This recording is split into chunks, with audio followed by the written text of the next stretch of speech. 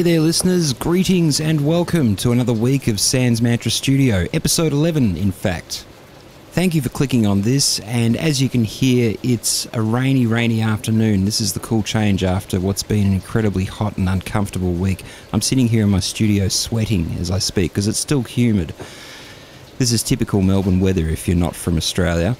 And speaking of which, I had a look the other day at where my listeners are from around the world, and I realised that I've got listeners in not only the United States, but Spain, Mexico, Romania, Russia, Brazil, Poland, and even Sweden. So thank you so much for listening. And buenas tardes to all my Mexican and Spanish listeners in particular, just because I like saying that. A quick plug for my single, The Silent Crowd, which is available on all streaming platforms as well as at my YouTube channel. I released The Silent Crowd on my birthday, the 1st of October last year, and it's the first of a few singles that I'll be releasing off an album that I have coming out this year in a few months. I've got lots of new music for you this week, and the first track is actually an instrumental mix of the song that I was just talking about, The Silent Crowd. This mix was actually made at the same time as when the single came out, and I sat on it until now just because I wanted to promote the main single as it was. But quite often these days, people will do an instrumental mix of their song if it's got lots of nice instrumentation, if they think that it might be able to be repurposed for something else in what they call a sync, which is synchronizing original music with TV and films, which is the great dream, of course, for a lot of musicians because, as you may or may not know, um, people don't actually buy music anymore. So, sync opportunities are a good way for musicians to make money if they're lucky enough to get them. So, this song has a lot of different elements on it, which I thought would make it possibly marketable as an instrumental song. And either way, I think it sounds great. I mean, I'm biased, of course, but I really like just the sound of this song without my vocal on it anyway, just with the instruments. And here it is.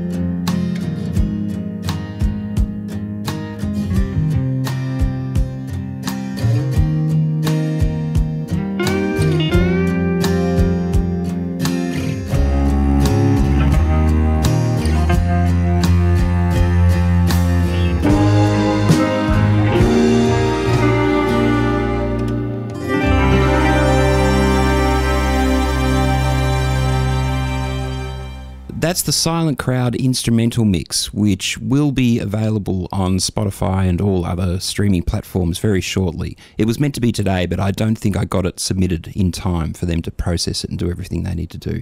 But it will be up available very soon, so keep an eye out for that.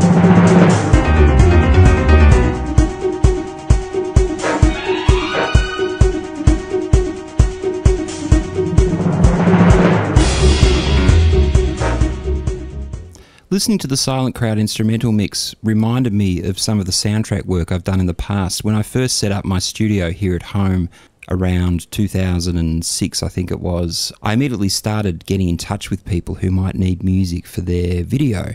And I ended up doing soundtrack work for a couple of young filmmakers and a couple of them I think still stand up. This first one is a piece called Copy Girl, which was a kind of a cute little short film about a girl, the photocopy girl, in an office. And I originally sampled a photocopier to get the beat of the um, tempo of the song. But then I revisited the track because I really liked it. It had a sort of a Latin feel and sort of updated it, I guess, sort of smoothed it out a bit and everything. So the photocopier isn't still on this current version, but I really like it nonetheless. I think in my mind it's got a bit of a Warner Brothers cartoon feel about it. Anyway, this is called The Copy Girl.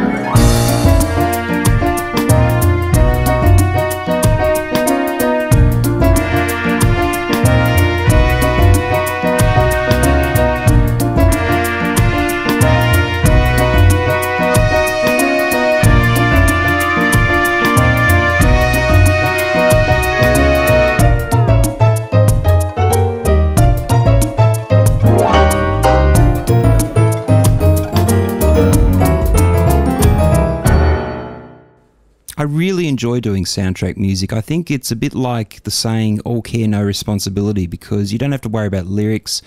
You don't have to worry about putting a good vocal on there if that's something that you're a little bit self conscious about, which I can be from time to time.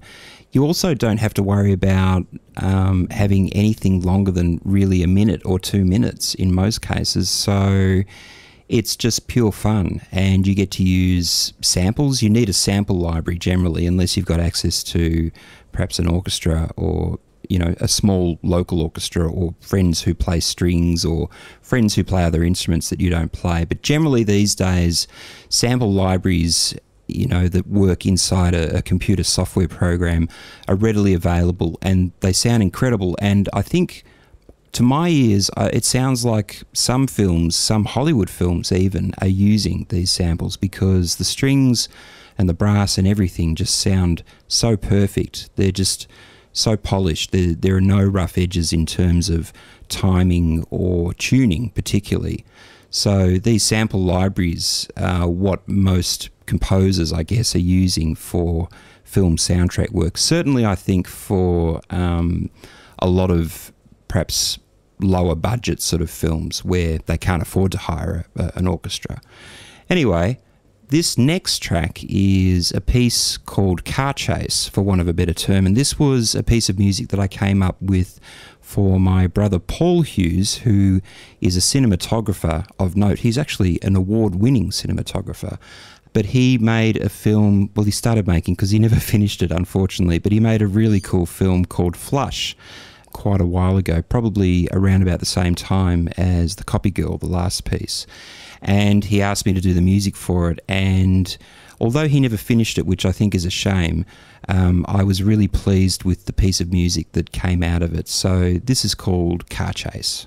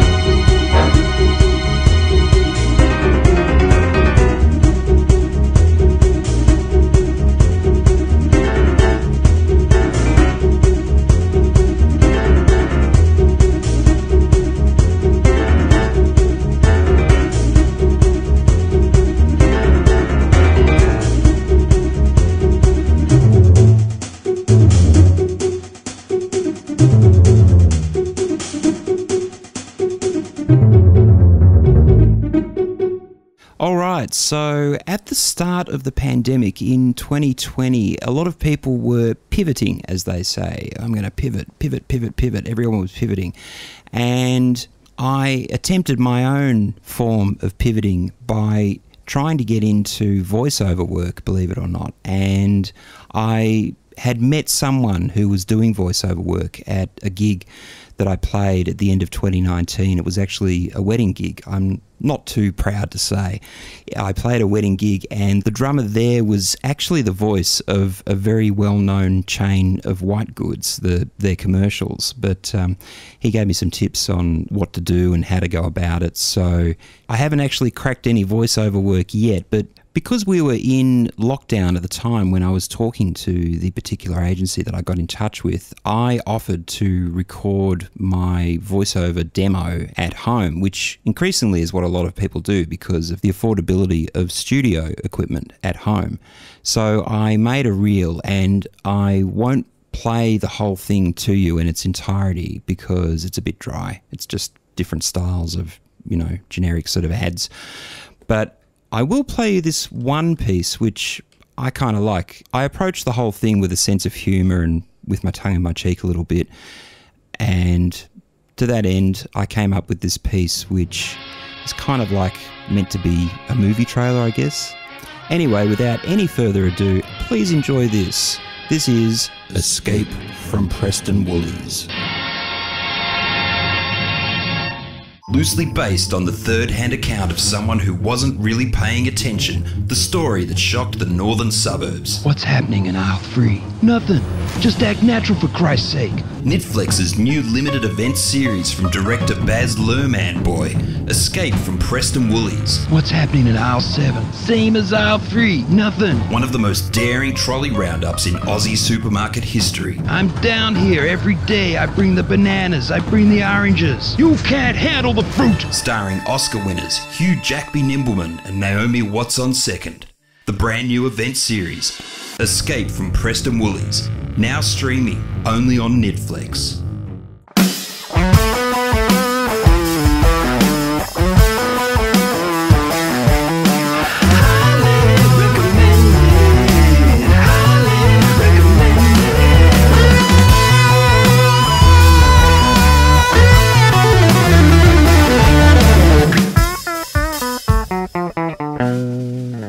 So, in keeping with the soundtrack theme for this week, this week's highly recommended playlist is all about soundtracks, soundtrack music. These are some of my favourite soundtrack pieces, not necessarily from my favourite films, but definitely some of my favourite pieces of music. And I've not even tried to cover a wide range of composers here because I wanted to keep it to what I really, really like. And that's really a handful of composers, although I do listen to more than just these few people that I've got on the playlist. But these are some of my favorites, like I said. And because it's soundtrack music, there's a lot of it. So this week's playlist is quite long. It's a bit longer than normal. The first composer is a guy named Michael Giacchino, who I first heard about when he did The Incredibles, which came out in 2004. And apart from being a fantastic film, just one of those rare animated movies that adults can enjoy as well as kids.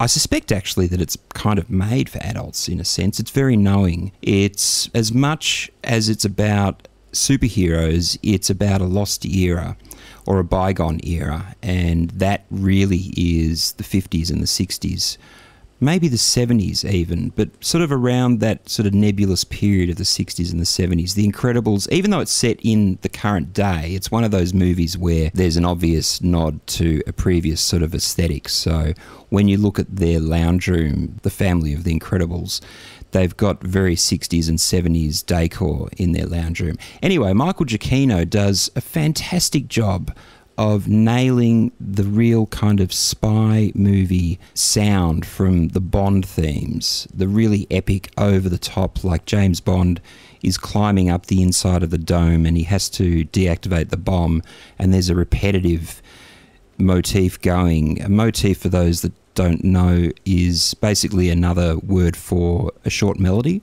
So you'll find in James Bond movies, there's, you know, the crucial moment, say in the third act, when everything hinges on him getting to a certain point in time and deactivating something, there'll be a repetitive motif that just goes on and on. In a lot of the early ones, anyway, in the 60s.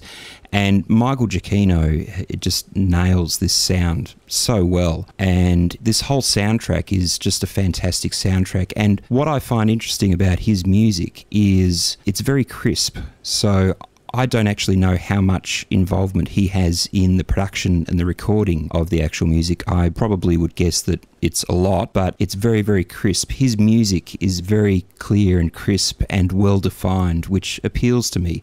And he has very strong melodies and very well orchestrated and, and arranged, of course. But there are two tracks on this playlist from him. The first one is actually not from The Incredibles. It's a track called Bundle of Joy from a movie, again animated, called Inside Out. And this is one of those tracks that's just really cute and very pretty, and you probably wouldn't find this sort of track anywhere else, this piece of music. So that's one of the great things about soundtrack music is that it gives music like this a place to live. The next few pieces are by one of my favorite soundtrack composers, a guy named Thomas Newman, who I really love listening to when I'm doing work that doesn't involve music at, at the computer, and I'll just put on an automatically generated playlist of Thomas Newman, and there's rarely a track that I want to skip. The first two tracks here are from the movie American Beauty, and I think the first one, the title track, American Beauty, is quite an iconic track by now. I think a lot of people know this music. And then the other one, Any Other Name. In fact, one of these pieces, I can't remember which, sounds a lot like one of the famous ringtones that we have now. But Thomas Newman has a very delicate touch, I find, and he uses a lot of effects to get delays happening that set up rhythms that wouldn't be that easy to create if you were playing them just organically. So he'll set things up that kind of bounce along and ping and repeat. And he has a, a, very light touch with strings as well, which I really like. The next two are from the second best exotic Marigold Hotel. And I really like these because he mixes the elements of East and West. Now, if you don't know about the movie, it's about a, a bunch of English retirees that moved to India. So it's got that mix of East and obviously with India and, and West of the, the English. And he really mixes the elements very well, but he doesn't lose his own voice, which I think would be very hard to do. It, it's not that hard once you know how to write music and arrange it to do a pastiche of something. But I think what is harder is to do something that's still true to yourself and has your voice, but incorporates those elements. And Thomas Newman does that very, very well. I really like his music. The next one is his piece, Writings on the Wall from Spectre, which he did the music for. And that, again, is a great example of him fitting in with the traditional James Bond type music, but still sounding like himself. That's a great piece. The next one is another cute one from the animated film Wall-E and that's called Eve, and that's another cute one. Now, the next composer, I just love this guy for this soundtrack alone, and this might surprise some of you that are listening and known me personally, um, but this soundtrack is is one of my Desert Island albums. It's um, it's the soundtrack to Under the Tuscan Sun, starring Diane Lane and it's by a composer named Christophe Beck, who's an American. And this soundtrack, it's just some of the most beautiful music I've ever heard. Now, I've picked four tracks, even though I could have put the whole album on this. This is just so perfect in so many ways. The strings, the timbres he manages to get from the strings, and the different elements again. There's a lot of what I was talking about earlier with Thomas Newman using delays and effects to set up rhythmic things that continue very lightly. With this album, he does that beautifully, but it also, because it's set in Italy, partly, there are some beautiful Italian sounding tracks as well with piano accordion and, you know, some of those sorts of instruments. But the track Catherine's Fountain, I think, is just one of my favourite pieces of music ever. And my brother Paul actually described a song by Stevie Wonder, You Are the Sunshine of My Life, as it's a bit like slipping into a warm bath. Now, I would certainly say that about this particular piece, Catherine's Fountain. The only thing that I regret about this piece is that it doesn't go for longer. It's only two minutes. I wish it went for about five. The next composer is Howard Shore, who I didn't really know much about before I heard his music in Peter Jackson's Lord of the Rings, which everyone knows about, of course. And I think Howard Shore, just for his score to this set of movies alone, is a genius truly. One thing that's really interesting about soundtrack music is that the way composers split it up, and thinking about this the other day, they will probably do this out of necessity as much as anything, I would imagine. But what they will do is they will assign a motif to each particular character or a piece of music. You know, it could be a motif or it could be longer. And whenever that character appears back on the screen, they will have that music playing in some form or another.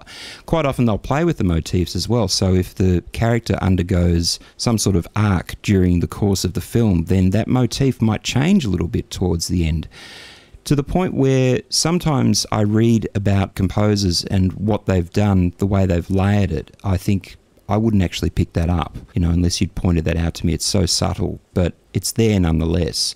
And like I just said, I think maybe that was born out of necessity because there's just so much music to write for a movie. I can't imagine how you would do it when you're scoring music for a three hour plus movie in this instance. In fact, I remember watching the making of DVD of Lord of the Rings when it came out, and there's a shot of Howard Shore clearly hasn't slept for a couple of days. He just looks completely demented, and he's got a bunch of sheets of music under his arm, and he's going into his hotel room and he drops the music and it just goes everywhere. And it's one of those moments where you can just tell he's beside himself. He's trying to get all this music finished for the deadline fantastic music in Lord of the Rings. I've picked four of my favourite general pieces, and then there are two songs with vocals, which I'm going to put in anyway, even though they're not instrumental. And that's because Howard Shore wrote the music to these two songs, and because they're just fantastic songs. The first one is Long Ways to Go Yet slash Gollum's song, and that features Emilíana Torrini, and that's just the most incredible piece of music to sum up Gollum's character. If you've watched Lord of the Rings, if you're a fan, you know that Gollum is just a totally hopelessly wretched creature and this music really sums him up the whole creepiness and the wretchedness and the regret and the, the misery that he has inside him. And then the next one is a beautiful song called Into the West, which is sung by Annie Lennox. The next bunch of songs is by a French composer named Alexander Desplat, and that's just a mix of different pieces that I really like there. I've got one from a movie called Extremely Loud and Incredibly Close. I don't actually know anything about that movie. I've just heard this on Spotify. The next one is again the same. It's Mr. Moustafa, and um, I don't know that either. of The movie. The next one is Amy from a movie called Little Women. That's fairly recent, from what I can tell. Alexander Desplat has a beautiful touch as well. Very, very delicate, and he doesn't waste notes, in my opinion. And then the last two, Obituary and Elisa's theme from two different movies there, which you can check out. I'll have all this in the description, of course, in the YouTube video and also on all the streaming platforms for podcasts, as well as a live link to this Spotify playlist if you're able to access Spotify.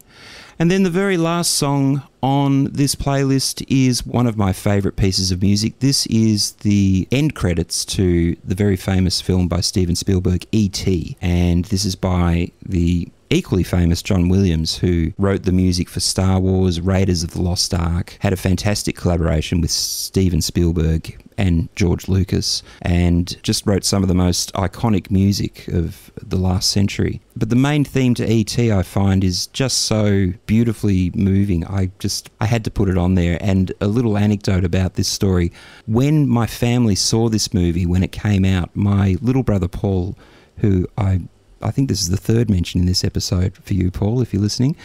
Uh, we went to see ET at the local cinema, and Paul was only, it was probably four or five, I think. And if you've never seen ET, it's a real tearjerker because there's a big farewell at the end, and it's very very sad. It's very emotional. And we finished watching this movie and we came out and paul wouldn't stop crying. It was so it was so upsetting. It was so emotional. And we walked up to the the local fish and chip shop to get some dinner on the way home. And the lady behind the counter actually felt so sorry for this little kid because he was very cute as a little kid too my brother that she gave him one of those little orange drinks in a square box, just free, just to console him. So, um, yeah, I'll never forget that.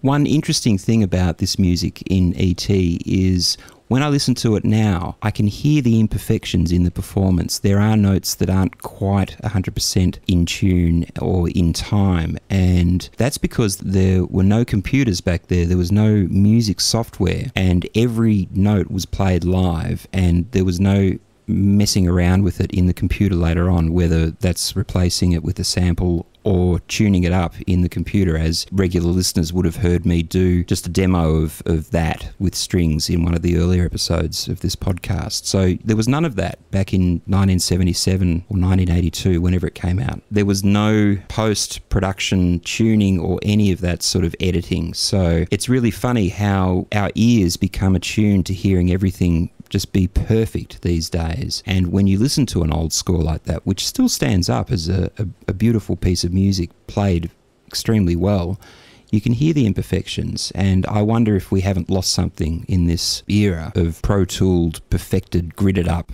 perfect music. Well, that's all I've got time for this week. As always, a big thank you to the following people in alphabetical order for all their support.